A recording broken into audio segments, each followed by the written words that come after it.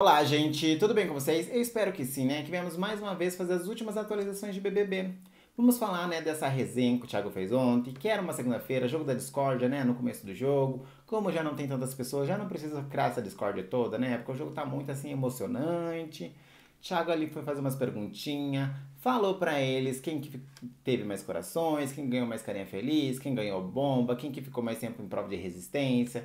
E o Thiago falou tanta coisa, gente. No vídeo de ontem também a gente falou sobre a Anitta, que já divulgou a vencedora do BBB, que é a Juliette, né? A gente já sabe que a Juliette vai ganhar esse BBB. A Anitta já divulgou, né? Porque ela tá fazendo o quê? O Girl From Rio dela, a musiquinha nova, isso tudo a gente já falou no vídeo de ontem. Já falamos de Camila é, e o Gilberto falaram sobre academia, que depois o Thiago citou ali, Camila chorou e muita coisa, gente. Aproveita, se inscreva no canal, tem um botãozinho aqui embaixo, você clica aqui, se inscreve, aí você vem, a gente conversa, se organiza, vocês comentam aqui embaixo o que vocês acham de cada posicionamento deles, o que eu falo aqui, deixa um like também, porque um like é super importante, like ajuda você a entender que gosta do conteúdo, que o YouTube também gosta, entrega para mais pessoas, a gente vai aumentando esse canal, tá bom? Vai nas nossas redes sociais também, Renan Underline SME, tá bom? Agora vamos organizar essa bagunça? Vamos falar aí do Thiago. O Thiago ontem falou, né, dos coraçõezinhos, quem ficou mais tempo na xepa, falou também se quem ficou mais na prova de resistência. O Gilberto ganhou na prova de resistência. Aí Juliette já raciocinou, falou que ela não fez uma prova de resistência, que foi a primeira prova. E aí já diminuiu as horas do Gil. Aí Juliette empatou com o Gilberto aí, né, em prova de resistência. Mas eu acho que também tem a prova de resistência da Juliette, no qual a Camila passou mal. A Camila não, né? A Carla passou mal e a dupla era a Juliette, elas tiveram que sair, que elas acabaram perdendo. Acho que esqueceu também. Hein, Thiago, essa é uma prova de resistência, não era? A galera entregou, né? Porque era para resistir, a galera foi se entregando, porque não queria ficar muito nessa provinha, não, né?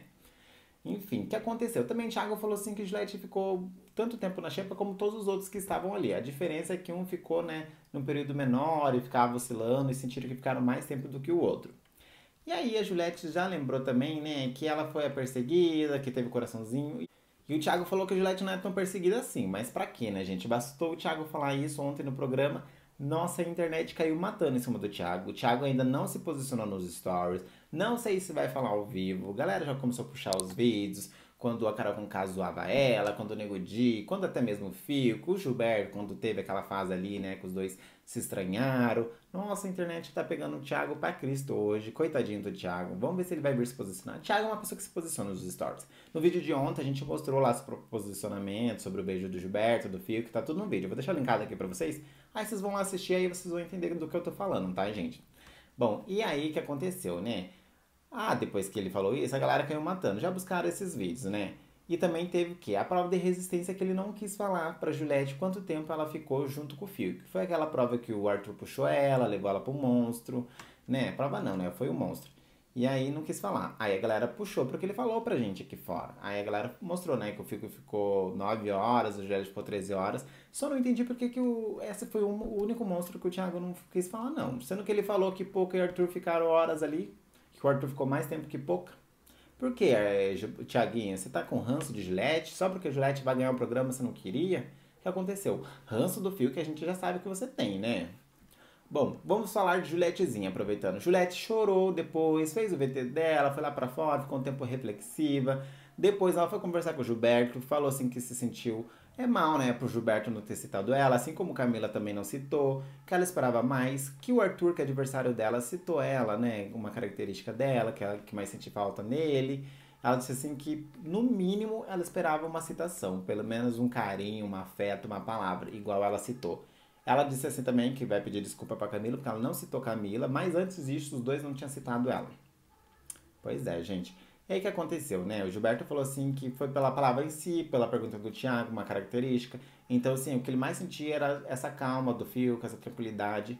Eu não sei onde que ele enxerga essa calma do Fiuk, não, gente. O, o fato de o Fiuk falar um pouco mais mansos, né? Ser mais, assim, mais equilibrado nesse sentido, mas a gente já falou várias vezes que o Fiuk é muito agressivo, né?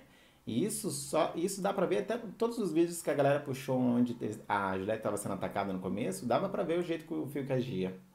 Fiuk diz que tem orgulho, né? Que a galera conheceu ele aqui fora, que a gente assistiu, até a família dele conheceu ele melhor, de uma das coisas que ele faz lá dentro. Na verdade, Fiuk, quando você sair, você vai ter vergonha do jeito que você foi julgado aqui fora. Eu, no meu ver, você vai ter muita vergonha. Aqui, assim, você tá sendo empurrado até aí no jogo, né? Você chegou até aí porque você foi empurrado. Não foi tanto mérito, assim.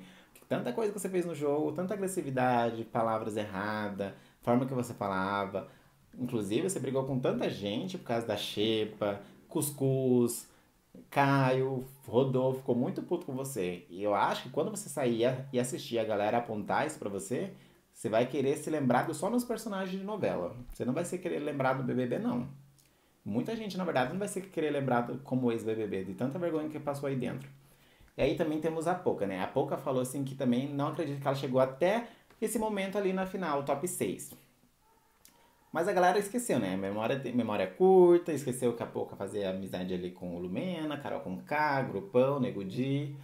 Mas assim, é o que eu falei, né? A Pouca passou dormindo a temporada inteira, foi empurrada também pelas coxas, porque a galera começou a criar. É aquele negócio que a Sarah tinha falado, né? Tentar ser planta. Quando você tenta ser planta, você é menos julgada. Aí você meio que vai sendo empurrada.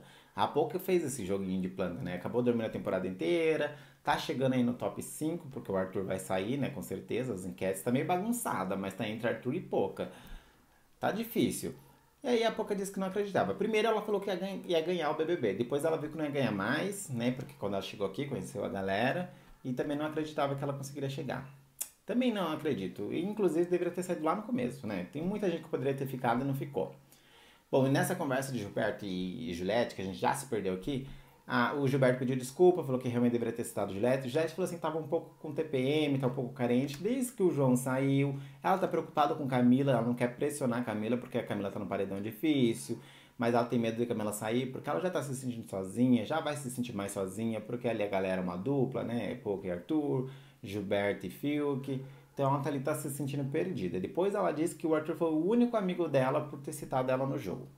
Depois ela também foi conversar com Camila. Camila falou assim também que pede desculpa, que hoje ela vai falar no ao vivo, vai falar. E dela perguntou pra Camila, né, que qual uma característica que você acha assim? A Juliette, não, você que tem que falar pra mim, eu já falei a sua. Da Juliette, ah, é, a da Camila, ah, é porque eu me vejo muito em você. Aí depois a, a Camila, ah, eu acho você muito inteligente, mais inteligente do que eu. Ai, Camila, é porque assim, dá pra saber que a Juliette é mais inteligente, porque a Juliette é advogada e formada em letras, gente. A Juliette é super inteligente para ela se formar em duas faculdades inteligente, ela não, né? É fato. Bom, aí teve o Arthur também muito estressadinho, né? O Arthur nunca consegue falar. Teve uma hora ali que a galera tava conversando ali fora, e eles estavam conversando sobre outras situações, o Arthur tentou falar duas vezes.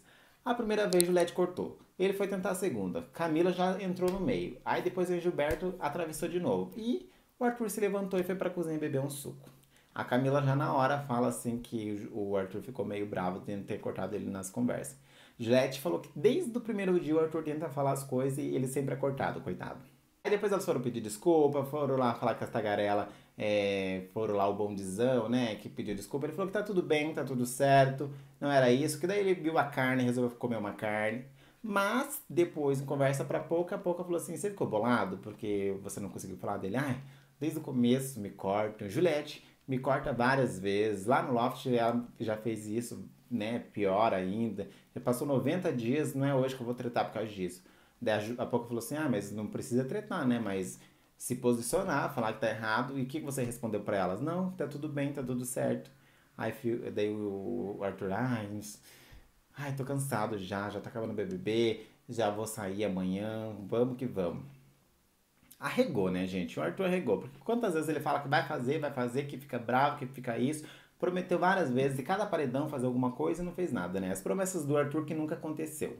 E aí também a Camilinha chorou, né? Depois que toda essa treta passou, Camila foi pro quarto, se sentiu ofendida, né? Que o, o Thiago falou pra ela que ela tava ainda em cima do muro, que ele não entendeu o que ela quis dizer. E aí a Camila, né, falou, ai, ele não deixou explicar mais uma vez sobre aquela questão. Eu e o Gilberto conversamos sobre a, na academia sobre isso. Mais uma vez ele não conseguiu me compreender. Aí Gilberto, né, depois que saiu do quarto do líder, em conversa com o Arthur, foi lá, explicou para Camila que não era isso, que ele falou do posicionamento, que depois que ele conversou com ela, deu aquela puxadinha no ao vivo, ela melhorou, ela tomou um lado, que isso foi uma característica que pouca percebeu, que depois que, né, teve todo esse away, que ele conversou com ela, e o Gilberto falou assim que quando o Thiago faz isso é pro bem deles. E isso mostra para os outros quanto você melhora. E aí a Camila falou assim, ai, não acredito que eu chorei à toa, eu não tinha entendido. Ela falou, não foi pro Fio que ele falou isso? A Gilberto, não, não foi pro fio que eu escutei, eu tava ali, foi isso que aconteceu, ele não quis dizer sobre isso, é que quando ele fez aquilo para você, foi para você melhorar. E daí a pouco percebeu, como as outras pessoas também perceberam, que quando ele faz isso é pro próprio bem deles. Pois é, né, gente? Climão. Bom, e aqui fora as enquetes, como eu disse, estão apontando que talvez Arthur saia, ou talvez Pouca. Vamos lembrar que o ADM de Pouca é fora Arthur, e o fora Arthur é fora Camila, Arthur. É uma confusão, né? O namorado de Pouca disse assim que, que vai vir com o Arthur até o final. Ah, gente, a gente sabe, né, que esses machos protegem os outros machos. A gente tá cansado já.